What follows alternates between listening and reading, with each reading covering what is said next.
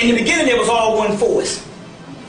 That's what the, the book, the book Perugia was saying that the uncreate was full. It had everything. And the difference between the masculine energy is there's a son of the mother and a son of the father. The son of the father is solar, a solar deity, which means that motherfucker's gonna burn out. Right. If it's a created light, which is usually your masculine deity. The son of the mother is a lunar deity, which just lunar represents the dark side, which means it is an energy that is forever. It is the energy of that is forever.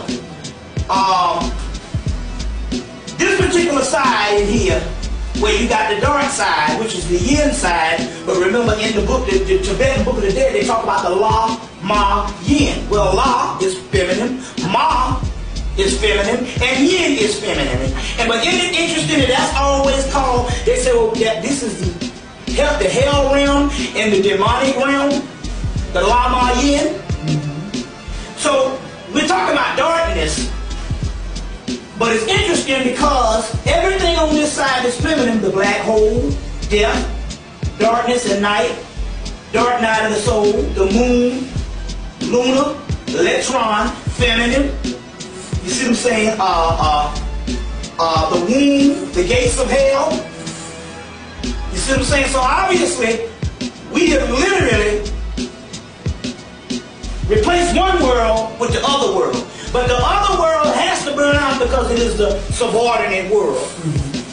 Now, going back to the Hermetic text, which is some of the oldest stuff in the world, uh, because uh, even Charles Finch said that basically um, when they when they got all this stuff out the Library of Alexandria, that's what became the Hermetic text. They got a lot of these books out of the Library of Alexandria. But in there it says that the God that rules the universe is a subordinate God.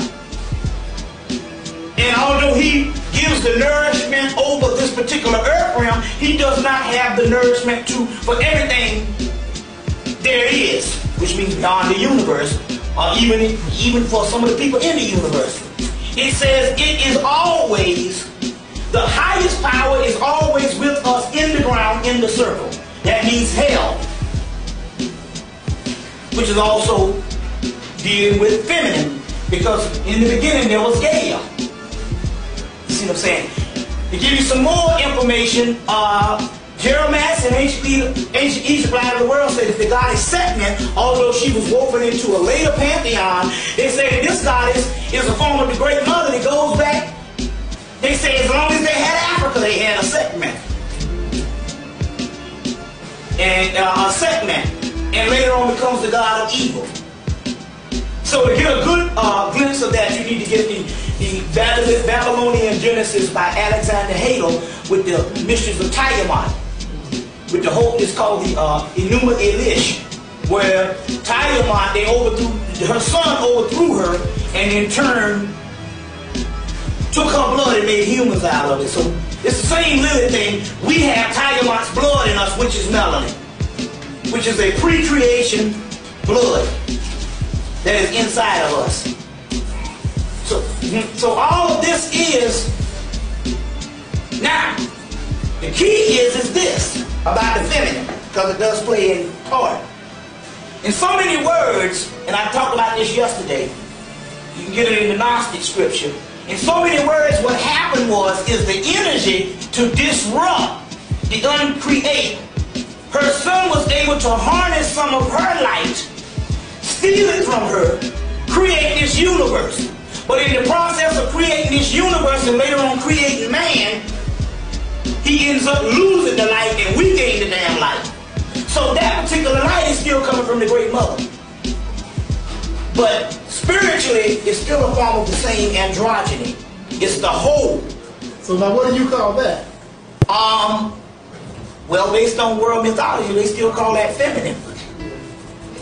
It's, see, the masculine, there's a, they still call that feminine.